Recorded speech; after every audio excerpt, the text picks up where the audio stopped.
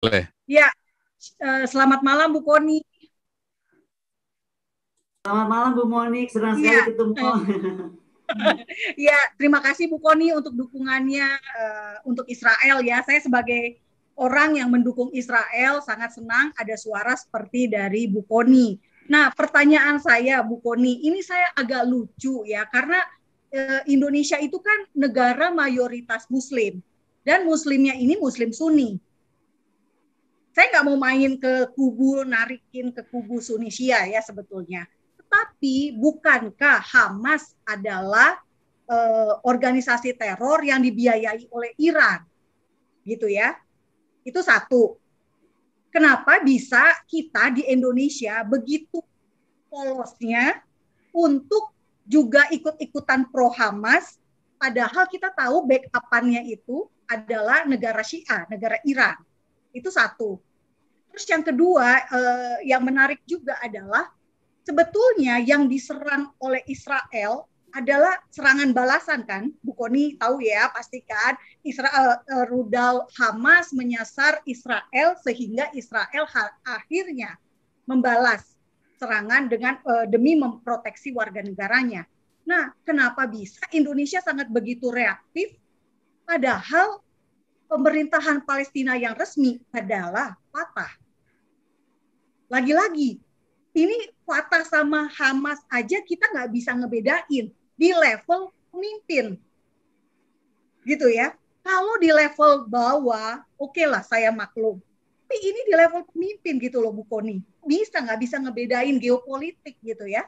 Nggak bisa membedakan satu partai berkuasa di tepi barat, satunya lagi partai berkuasa di Gaza. Nah, pertanyaan saya Bu Koni, apakah pemerintah kita punya pembisik yang kurang cerdas dalam soal geopolitik atau memang yang tadi seperti Pak Sang katakan, ini ada kepentingan gitu ya, kepentingan memainkan isu sedemikian rupa sehingga merawat kesalahpahaman dan misinformasi ini dari atas sampai ke bawah. Itu aja Bu Koni, terima kasih. Sebenarnya saya itu nggak dalam posisi menjawab Bu Monik loh. Saya justru mendengar paparan Bu Monik. Kenapa saya jadi mesti jawab Bu Monik?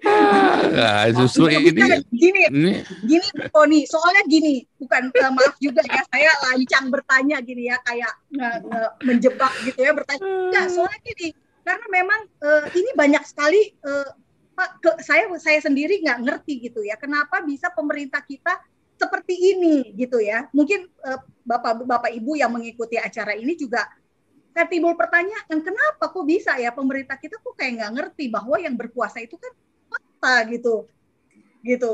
Pemerintah Palestina yang fakta kan gitu. Kenapa yang dibela tuh Hamas gitu yang jelas-jelas lawan politiknya sih fakta gitu loh jadi gini Bu Moni kalau saya melihat dari hmm. beberapa pertemuan saya membahas tentang Israel uh, di kita itu benar-benar kita baru ngomong sepotong aja udah langsung wah udah pro Israel gitu. Jadi uh, di kita itu malas baca, malas hmm. mengerti, apalagi mau memahami sejarah gitu kan. Uh, jadi itu mungkin juga ada kendala. Yang kedua adalah sering kali ada anggapan Gus Dur aja tadi juga di situ ditulis Gus Dur aja nggak jadi presiden lagi karena bela Israel. Itu kayaknya somehow di beberapa pemikiran hmm. orang tuh kayak melekat. Jadi itu Israel tuh seperti uh, high hanging fruit, mendingan jangan disentuh lah.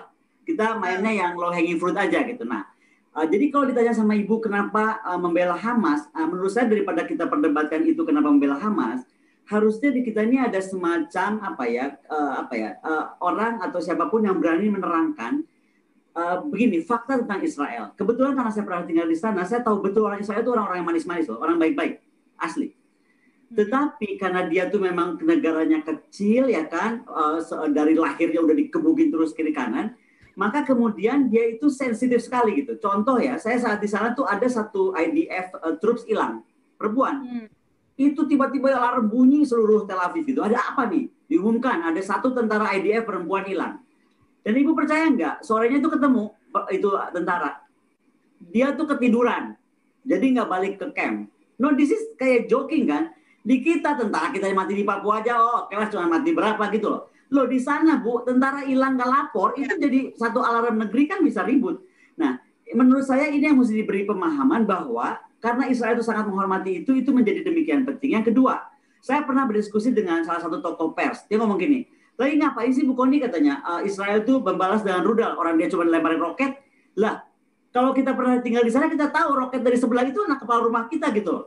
Misalnya saya pernah di Rosharnikra kan. Rosharnikra itu kan persimpangan dari sana lempar ya kena rumah kita gitu kan. Nah, hmm. jadi menurut saya kalau kita dalam perspektif kacamata kita itu seperti Indonesia, memang iya kalau petasan balas lagi sama petasan kan begitu ya Bu ya harus ada yang berani berbicara bahwa di sana tuh Israel tuh deket banget gitu kurung gitu. Yeah. Jadi salah-salah petasannya rumah orang bayi bayi kita bayi orang Israel bisa meninggal atau perempuan Israel bisa meninggal.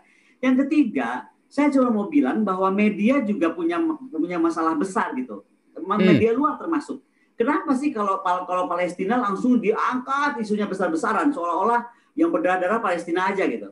Israel juga banyak korban kok. Tapi kalau saya melihat Israel itu nggak tipe cengeng, daripada dia berpropaganda dengan drama-drama seperti itu, dia lebih baik memperkuat pertahanannya.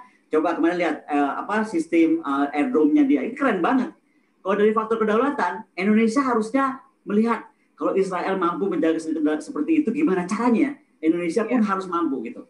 Jadi kalau saya lebih mengarahkannya ke sana, sehingga akhirnya ada pemahaman bahwa kedaulatan di mata kita yang negaranya luas seperti ini gitu kan saya nggak bisa lihat ibu mungkin dari timur ke barat saya mesti terbang berapa jam ya. beda sama Israel yang udah langsung hmm. di depan hidung gitu jadi petasan sekilas itu bisa dibalas betul-betul dengan uh, apa dengan uh, sebuah tindakan nyata. Karena sekali lagi kedaulatan buat Israel itu segala-galanya mengingat uh, lokasinya dan bagaimana sejarah panjangnya. Demikian Bu Monik terima kasih Bu Koni ya,